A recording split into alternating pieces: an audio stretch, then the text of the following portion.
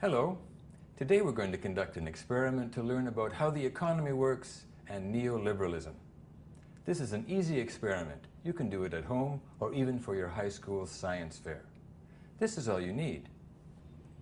Some wood for a frame, a bit of string, some plastic tubing, a balloon filled with water, a net, I made mine out of an onion bag, and a bicycle pump. That's all you need.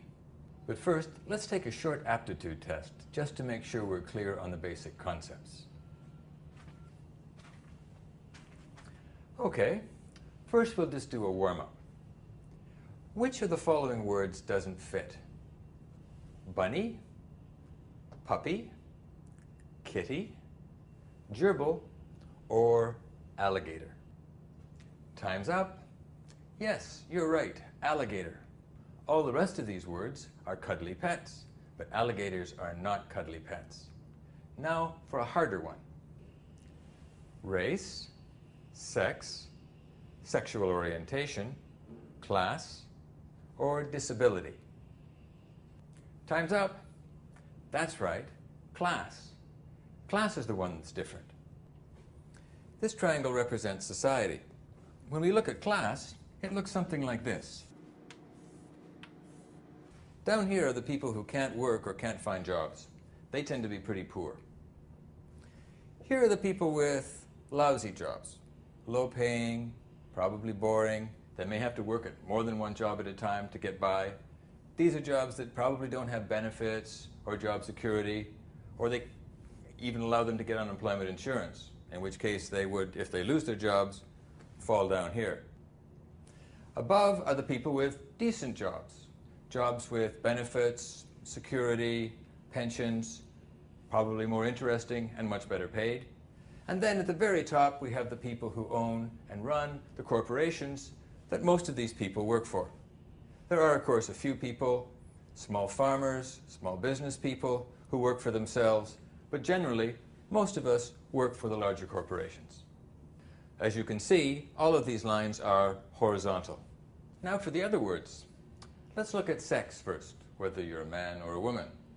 If you look at our model of society, sex should look like this. Half of us are women, and half of us are men. Well, that's what it should be like, but in fact it doesn't because of discrimination against women. It actually looks more like this. Fewer women own those corporations or control them, and more women are in poverty, whereas men tend to dominate at the top. Okay, what about race? Race has to do with the color of your skin, your physical characteristics, even though sometimes the language you speak or where you come from or even your religion can get all mixed up in that. What does race look like in society? Well, it should look like this. All the different racial groups are found both at the bottom and the top of our social hierarchy. You see, just like in sex, the lines are mostly vertical.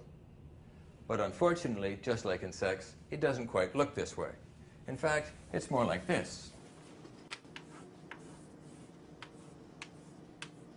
Some groups are mostly at the bottom. Other groups do a little better. Dominant group controls most of the top, and maybe another group is not quite as much at the top.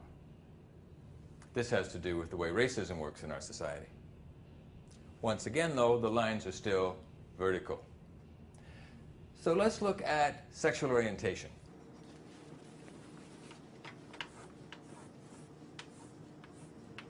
Sexual orientation is whether you're gay or straight or bi or lesbian, now, since gay people are born everywhere, it should look like this. Gay people and straight people. But on the other hand, since gay people are discriminated against, maybe it looks more like this. Now, some marketing companies seem to think that it looks more like this. Anyway, since gay people aren't really counted in the census, we don't know. So, in deference to queer theory, Let's just leave this messy. Anyway, the lines are mostly vertical. And finally, what about disability? People with disabilities are people who have trouble doing things that other people don't, like climbing upstairs or seeing traffic lights or hearing a conversation or learning something really quickly. People with disabilities face a lot of discrimination. So when you look at society, people with disabilities tend to look like this. A lot more disabled people have no jobs at all or work in pretty low paying jobs. But still you can see the line is vertical. Now, that leads us to the other difference between class and those other words. Because if we wanted to change the differences between people in terms of race or disability or sexual orientation, the way that they're treated, then what we have to do is fight discrimination. But if we want to change class differences, then what we have to do is change the shape of society so that some people are not a lot wealthier than others. With a shape like this, the differences between the top and the bottom are not nearly so great.